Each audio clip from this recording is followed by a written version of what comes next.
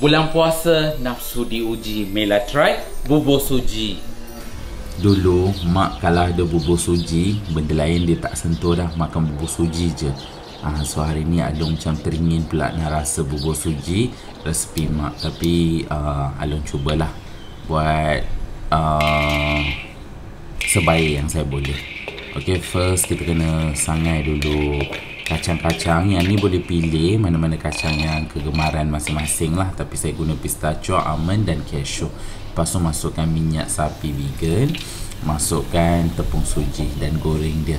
Okay and then uh, api tu medium eh sebab kita tak nak burn dia. Tapi kita nak rasa minyak sapi tu dengan tepung suji tu dia mix well gitu. Lepas tu uh, dah panas, dah wangi satu rumah gitu dah boleh keluarkan and then letak tepi dululah. Sekarang kita boleh chop kacang-kacang yang tadi kita dah sangai tu dia dah sejuk sikit. Uh, kita boleh rough chop saja tak payah fine sangat. Uh, kalau nak blend pun boleh blend kasar-kasar je lah ya uh, yang ni sebab nanti kita just nak uh, letak kat atas masa makan bagi dia ada texture sikit lah sebab Along ni kan masa makan suka ada crunchy-crunchy ada texture macam tu. Ok lepas tu dalam satu pot masukkan air masukkan sprout milk. Sprout milk ni adalah susu tumbuh-tumbuhan lah uh, macam Along, Chef Dave kan vegan kita tak minum susu daripada haiwan. Kita ambil susu daripada tumbuh-tumbuhan lah. Lepas tu masukkan garam, masukkan gula. Uh, kacau-kacau-kacau biar dia betul-betul panas gitu. Once dia dah panas dan dah start mendidih macam tu kita boleh masukkan tepung suji yang kita dah siap goreng tadi tu. Ha, lepas tu cepat-cepat kacau tau. Ha, kalau tak nampak tak ada ketul-ketul macam tu? Ha, kita tak nak. Kalau dia dah ketul-ketul macam tu kita keluarkan ketul-ketul tu ha, kita hancurkan masukkan balik.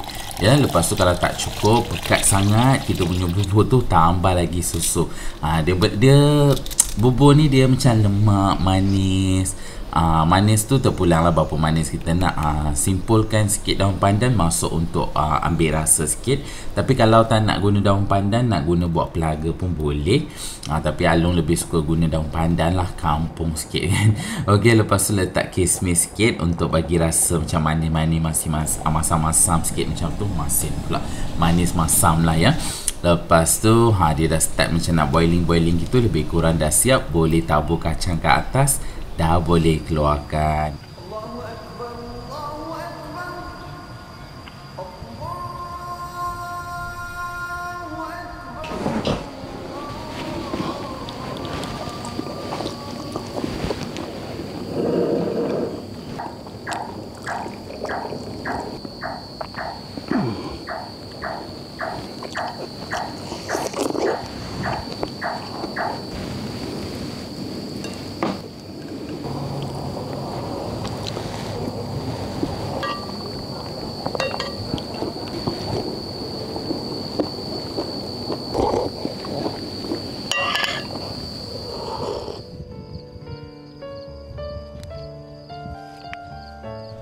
Walaupun mak dan ayah tak ada Alung tetap berpuasa sebulan Ramadan macam biasa.